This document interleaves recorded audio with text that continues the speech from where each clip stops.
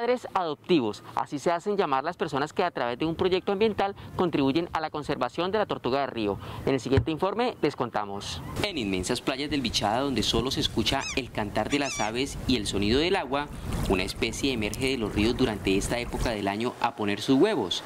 Es la tortuga de río, este indefenso animal corre un gran riesgo, no solo por los depredadores animales, sino por uno aún mayor, el hombre.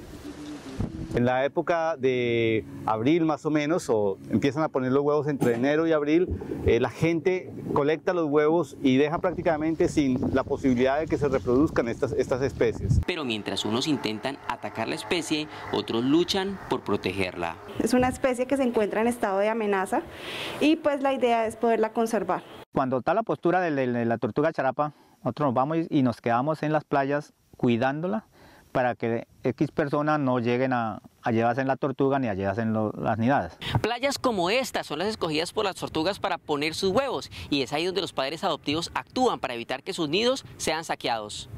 En el momento en que los padres adoptivos evidencian personas extrayendo los huevos, les explican la importancia de conservarlos y así evitan los saqueos.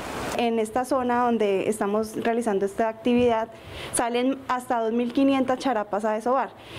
es muy fácil y son muy vulnerables en esa época de postura, las personas pueden coger muchas, ir, ir volteándolas, volteándolas y capturar una gran cantidad. Entonces la idea es protegerlas en ese momento, la comunidad nos ayuda con esta protección. Organizaciones ambientales como Fundación Omacha y WCS adelantan estos programas de conservación a lo largo del territorio colombiano y principalmente en el Bichada.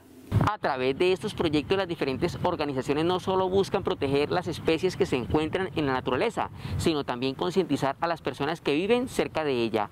En Puerto Carreño, David Beltrán, Enlace 13.